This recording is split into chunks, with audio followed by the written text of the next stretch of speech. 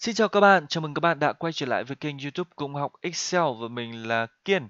Ngày hôm nay chúng ta hãy cùng học cách thêm và gỡ bỏ link hay gọi đầy đủ là hyperlink ra khỏi file Excel các bạn nhé.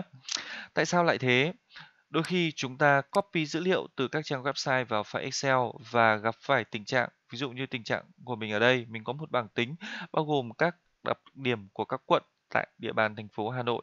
Cho đó các tên quận đã được gắn các file hyperlink khi mình click đơn vào đây, ngay lập tức trình duyệt được khởi động lên và dẫn chúng ta đến trang Wikipedia của quận đó và mình không thể nào làm việc được với ô dữ liệu này. Đó, chỉ cần kích đơn vào các bạn đã được dẫn sang trang khác rồi.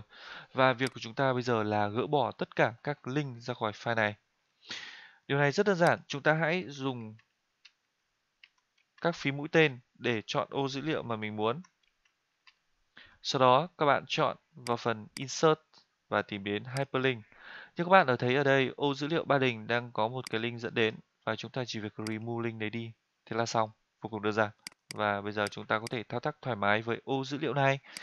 Và khi muốn giữ muốn xóa toàn bộ hyperlink ở một cột, chúng ta chỉ việc chọn cột đó, click chuột phải và remove hyperlink.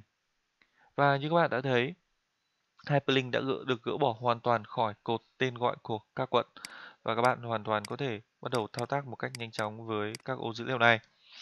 Trong một vài trường hợp khác, chúng ta lại muốn thêm hyperlink vào đây thì các bạn hãy chọn Insert, chọn Hyperlink và điền và chọn phần Edit File. Tức là sau đó chọn một địa chỉ website mà các bạn muốn. Ví dụ các bạn có thể điền tiếp tục điền trang Wikipedia của quận Ba Đình vào đây. Trong trường một trường hợp khác, chúng ta muốn link ô dữ liệu này đến một sheet khác, ví dụ sheet Ba Đình là bản đồ của quận Ba Đình. Chúng ta chọn ô dữ liệu quận Ba Đình, sau đó chọn Hyperlink và chọn phần Place in this document, tức là vị trí ngay trong chính văn bản này. Và ngay lập tức Excel đã liệt kê cho chúng ta tất cả các sheet ở trong file Excel này, bao gồm sheet Ba Đình và chúng ta click vào đây. Và ngay lập tức các bạn nhìn thấy chữ Ba Đình đã được hiển thị chữ màu xanh và gạch chân, tức là đã có một hyperlink ở đây. Chúng ta click vào quận Ba Đình. Và ngay lập tức dữ liệu đã chuyển chúng ta tới sheet quận Ba Đình bao gồm một tấm bản đồ rất rõ ràng như thế này. Chúng ta trở lại.